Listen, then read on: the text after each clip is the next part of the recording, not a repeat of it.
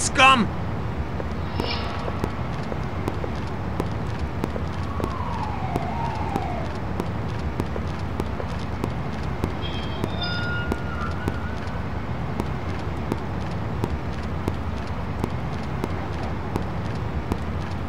Who's there? Who's there? Hey, you! Over there! What was that? You want a piece of me, huh? Hey, you! My fat ass is gonna bust your face!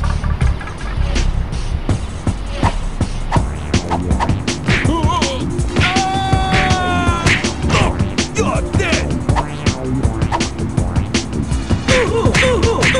Shit! Come on, pencil neck!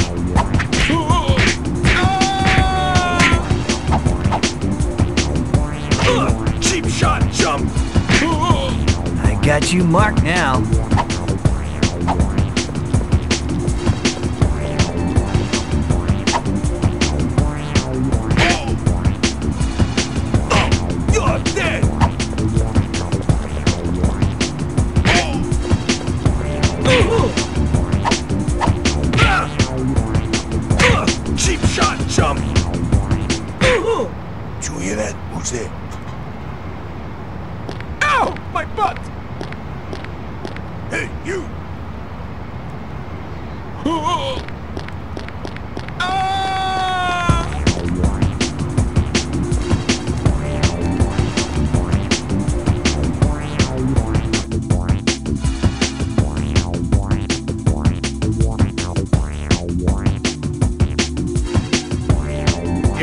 Welcome everybody to another Sledgehammer review. My name is Dr. Sledgehammer and today I have got another underrated 90s gem just for you. Imagine playing GTA 3 but with a much more diverse hand-to-hand combat system, RPG elements and action-adventure elements just like in the Tomb Raider series. I am talking of course about Urban Chaos.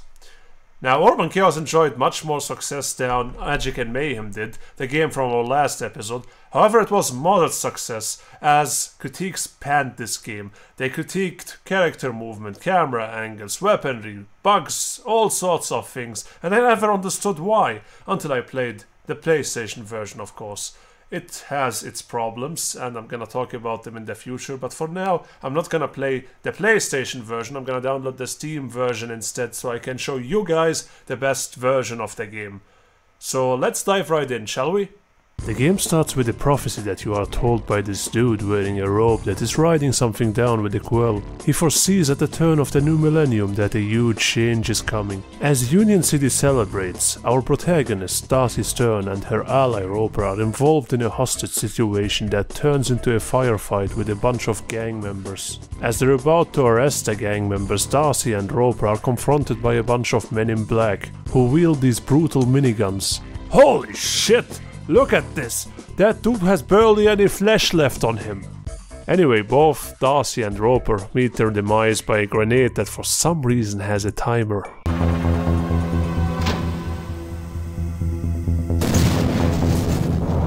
This would be the final reckoning.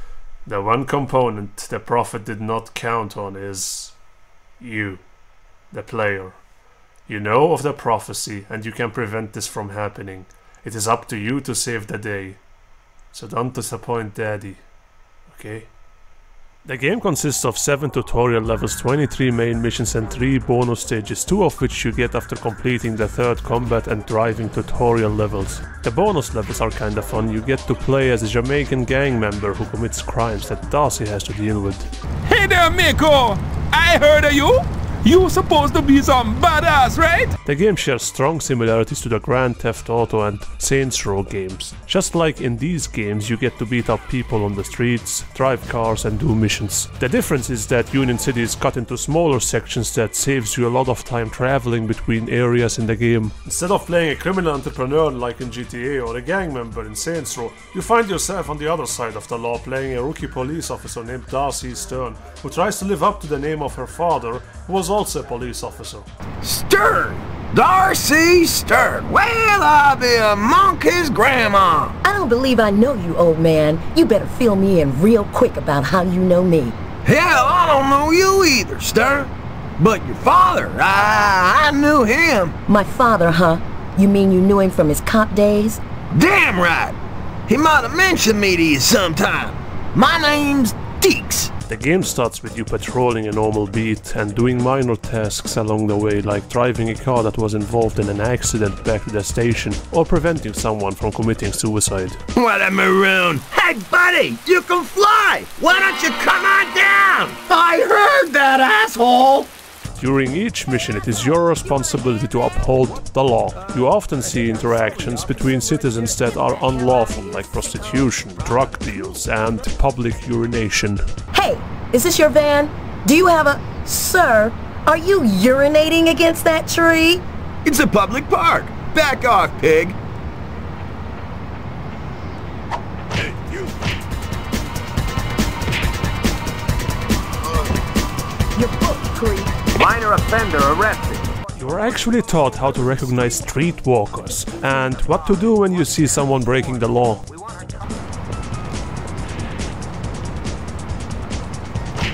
Your book, creep. Good work, Stern. I guess we'll have to stop calling you rookie now, huh? You think you see a citizen do something suspicious? You get to make your own call whenever you think he did something wrong and you get to kick his teeth down his throat. Whoa, nice breasts, lady. Hi, officer. Bye, officer. Hey, no, that's suspicious! Get back here, you suspicious asshole. You busted, punk. Yo, he had a knife on him! Me super kicking him in the face was totally justified. During the first few missions, you will notice an increase in the number of gang members who join a criminal organization called the Wildcats. There are only a few of them in the first few missions, but they increase rapidly towards the fifth mission.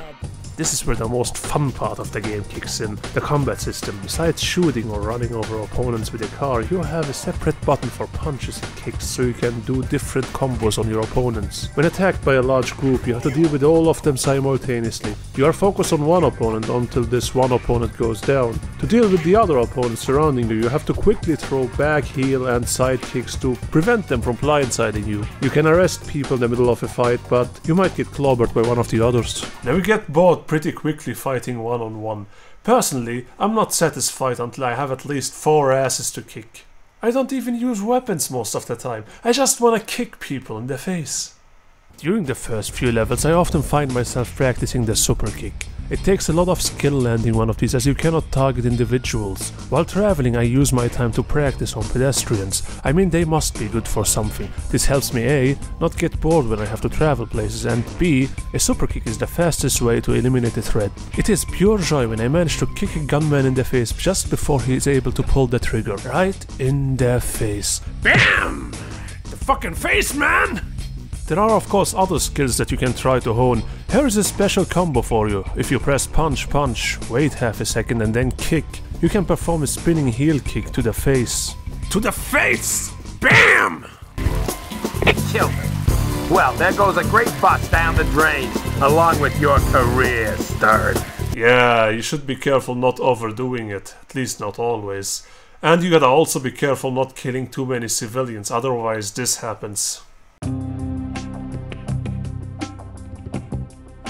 I think you get like four strikes and then you have a game over screen and have to restart the entire game. As mentioned earlier, the game shares a lot of similarities with the Tomb Raider series, as both girls do a lot of parkour in their respective series. D'arci has to climb on lots of buildings and glide between buildings using cables.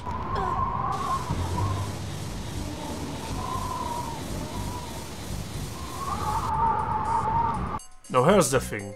Whenever I climb up high, my hands get sweaty, my knees start to tremble because I'm afraid of falling down.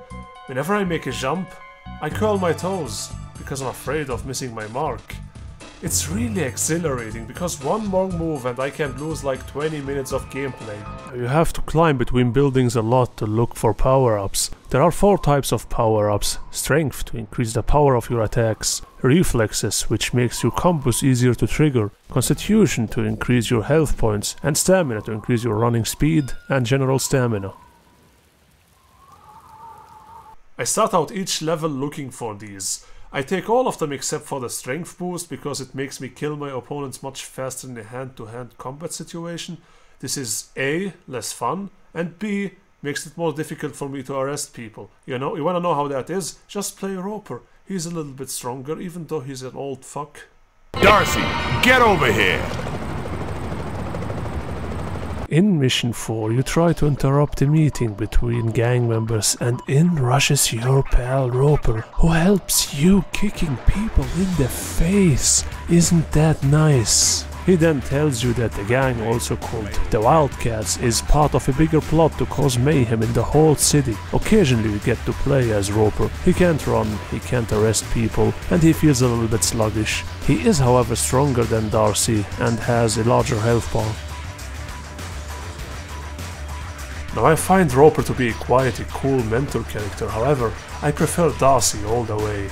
D'arci can actually run, she has smoother strikes, faster strikes, so she can kick people better in the face, and arresting people is actually quite useful. Plus, she is sassy as fuck. Johnson, you okay? Those assholes hurt you? Hell no, Stern! I beat down guys far tougher than them before. Oh, so that's why they kicked your ass and trussed you up like an amateur rent-a-cop, huh? All right, Stern, you've had your laugh. Save your breath for the journey back. Then move it, Johnson. Back to the Wildcats though. As you play further, you notice that Roper was right, and they are indeed a large criminal organization financed by a wealthy and powerful individual in town. You spend most of your time trying to convince your colleagues that the Wildcats are not your average street punks. What are you nuts, Stern? The Wildcats couldn't have pulled this off. The terrorists just dressed like Wildcats to throw us off. You almost feel on your own most of the time, as most police officers do not believe you. As you move further, you will meet the men in black. They are really tough and will blow themselves up whenever you manage to kill one of them.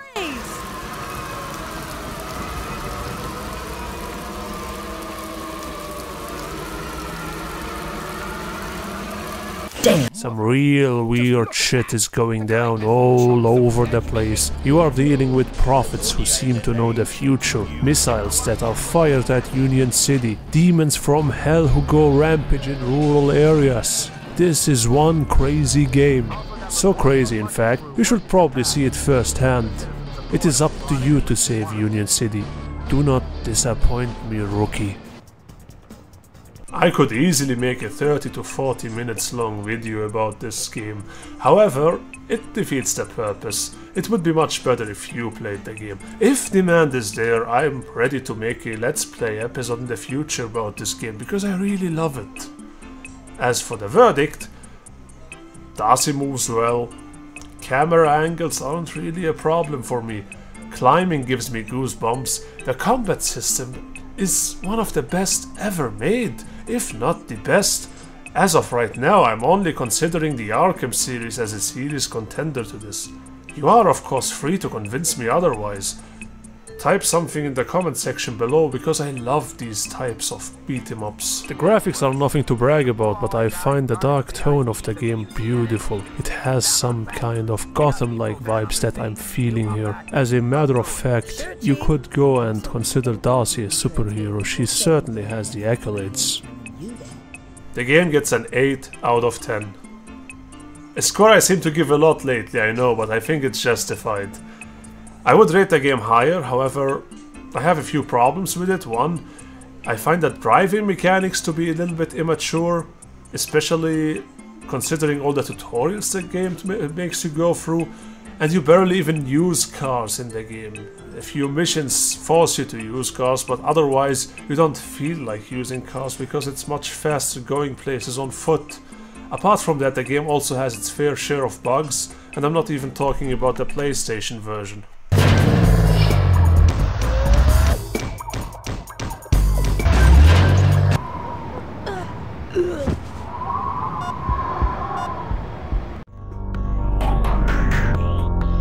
As for the fate of the series, sadly, the developer Mucky Foot Productions went out of business in 2003. If you look closely at their Wikipedia page, you will notice that a second Urban Chaos game was actually in production. Further digging will reveal some of the first concept art. I do not really dig the short hair that D'arci is carrying here, but I would have gladly played a sequel. I am sure this series could have been a serious contender to Saints Row or GTA even. I personally believe that one of the major reasons Urban Chaos failed to succeed was the console versions of the game, as they are far inferior to the PC version. I will make a small review about the PlayStation version in the near future just to show you what I mean, but for now, I thank you for tuning in. I had a blast playing this game again. I was Dr. Sledgehammer, and I will see you guys in the next Sledgehammer review.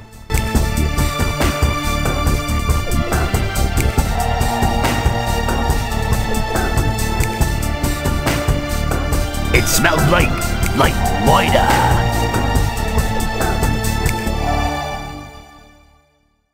All right, pal. Let's go. Huh? Oh, where did you come from? The sky. Now let's take this nice and easy. But I want to be a fireman!